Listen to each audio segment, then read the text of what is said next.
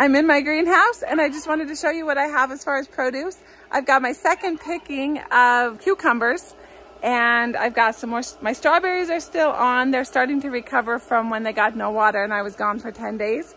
And I've got some tomatoes on as well as peppers that are coming on. So I will show you some of this, but it's not, actually not too late where I'm at. I'm in Eastern Idaho and it's not too late to plant them outside. I just planted tomatillos and tomatoes outside yesterday because we still were freezing a week ago. So it's been a crazy, crazy year. These are my pepper plants and I've already got peppers on them.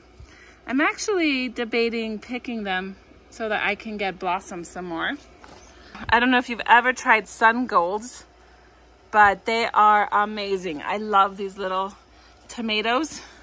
We just eat them and put them in salads, but they are just beautiful and they're gorgeous and they're tasty. They're about the sweetest tomato you ever saw, had. I've got some more peppers.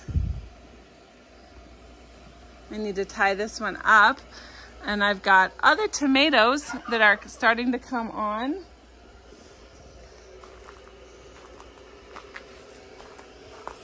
My cucumber plants are doing pretty good. I've got cucumbers hiding out all over the place. You see them?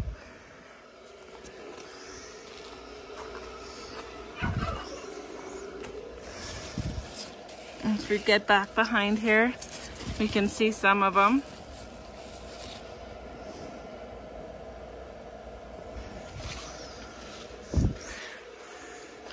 So far today I've got those and I've got these from another bed. And then I'm gonna go over and check my munchers. So this is about five feet high, a little bit shorter than where I'm at. So some of these tomatoes are nigh into five and a half feet.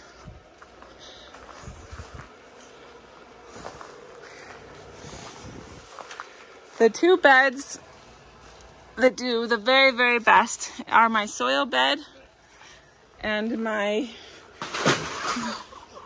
my square foot garden bed.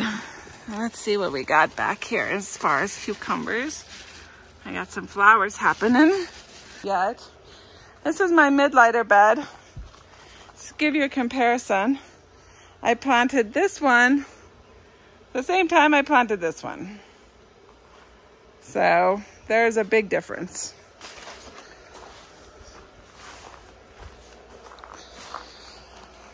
I do get occasionally mushrooms in my Mittleider bed.